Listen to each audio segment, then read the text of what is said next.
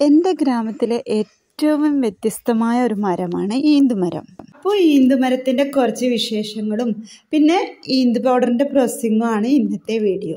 Informative ആയിട്ടുള്ള പുതിയൊരു വീഡിയോയിലേക്ക് എല്ലാവർക്കും സ്വാഗതം. ഭൂമിയിലെ ഏറ്റവും പഴക്കമുള്ള ഒരു ചെടിയായിട്ടാണ് ഇത് അറിയപ്പെടുന്നത്. ഇതിന്റെ മേലെയുള്ള കായകൾ പഴുത്ത് വീഴുമ്പം അല്ലെങ്കിൽ പഴുത്തിട്ട് പറിച്ചെടുത്തിട്ട് അതിനുള്ളിലുള്ള കാമ്പാണ് പ്രോസസ്സ് ചെയ്തിട്ട് നമ്മൾ പൗഡർ ഉണ്ടാക്കുന്നത്. ഈന്തുമരത്തിന്റെ മുകളിൽ നിന്ന് പിന്നെ ഈ വവ്വാൽ പോലത്തെ ജീവികൾ പാറ്റാൻ എന്നൊക്കെ പറയും. പാറ്റാനും നരിച്ചീർ എന്നൊക്കെ പറയും. അവർ ആണ് ഇത് പ്രചരിപ്പിക്കുന്നത്. വളരെ അത്ഭുതകരവും വ്യത്യസ്തവുമായ ഒരു പനച്ചെടിയാണ് ഈന്ത്. ഈന്തിന്റെ മരത്തിന്റെ ആ വളയങ്ങൾ കണ്ടോ?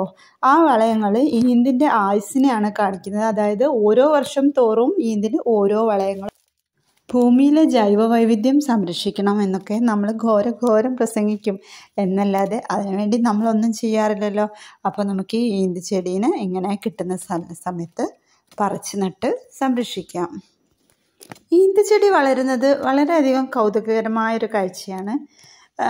കട്ടിയുള്ള പുറന്തോൽ പൊട്ടിച്ച് ഈന്തച്ചെടി പുറത്ത് വരാൻ തന്നെ കുറേ സമയം എടുക്കും കേട്ടോ ഒരു എനിക്ക് തോന്നുന്നു രണ്ട് മൂന്ന് മാസങ്ങളൊക്കെ കഴിയുമ്പോഴാണ് അത് മണ്ണിൽ കിടന്ന് വെള്ളമൊക്കെ തട്ടി അങ്ങനെ പൊട്ടിക്കീറി ഷെല്ലൊക്കെ പൊട്ടിക്കീറി ചെടി പുറത്ത് ചാടുള്ളൂ. ചെടി കാണാൻ നല്ല ഭംഗിയാട്ടോ ഒരു വെറൈറ്റി ചെടി പോലുള്ള ഒരു ലുക്കാണ് ഇതിന്.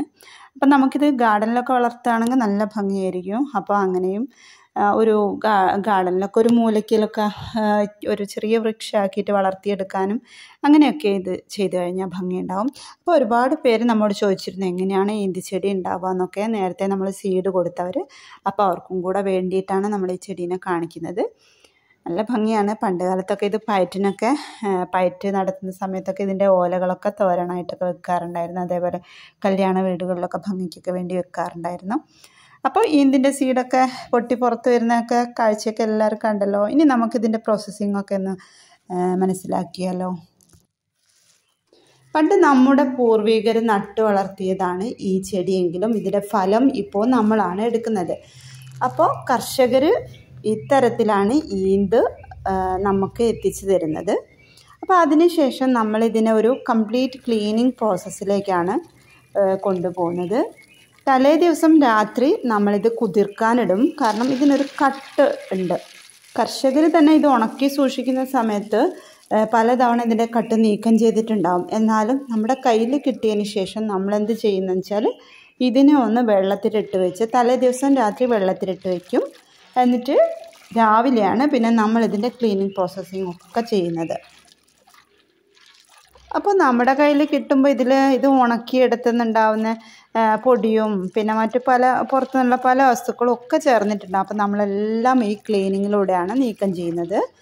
നമ്മളിത് ഇങ്ങനെ ക്ലീൻ ചെയ്യാൻ എടുക്കുന്നതിന്റെ മുന്നേ ആയിട്ട് മുറത്തിലിട്ട് ജസ്റ്റ് ഒന്ന് ചേറിയിട്ടും അങ്ങനെയും ക്ലീൻ ചെയ്യുന്നുണ്ട് കേട്ടോ. അപ്പോൾ എല്ലാം കൂടെ വീഡിയോയിൽ കാണിക്കാൻ പറ്റായിട്ടാണ്.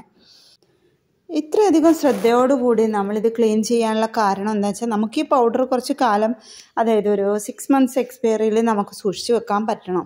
അപ്പോൾ അതിന് വേണ്ടിയിട്ടാണ് മാക്സിമം വൃത്തികേടും കാര്യങ്ങളും ഒക്കെ കളഞ്ഞതിന് ശേഷം ഏറ്റവും നല്ലതാക്കിയതിന് ശേഷമാണ് നമ്മളിത് ഉണക്കാനെടുക്കുന്നത്. നല്ല സൂപ്പർ വേനലല്ലേ? അപ്പോൾ ഇങ്ങനെ കഴുകി കളയുന്ന വെള്ളമൊക്കെ ചെടികൾക്കാണ് കൊടുക്കാറുള്ളത്. നിങ്ങളെങ്ങനെയാണ് ഒന്ന് കമന്റ് ചെയ്യണേ? ഈന്ത് പൗഡറിന്റെ പ്രോസസ്സിങ്ങായിട്ട് ബന്ധപ്പെട്ട വീഡിയോസൊക്കെ നേരത്തെ ഇട്ടിട്ടുണ്ടായിരുന്നു. അപ്പോൾ അതിന്റെയൊക്കെ ലിങ്ക് ഞാൻ ഡിസ്ക്രിപ്ഷനിൽ ഇടാമെന്ന് പോയിട്ട് കണ്ടു നോക്കണേ. കണ്ടാൽ മാത്രം പോരാ. നിങ്ങളുടെ അഭിപ്രായങ്ങളൊക്കെ കമന്റ് ചെയ്യുകയും പിന്നെ അതേപോലെ മറ്റുള്ളവരിലേക്ക് ഷെയർ ചെയ്യാനും മടിക്കരുതേ.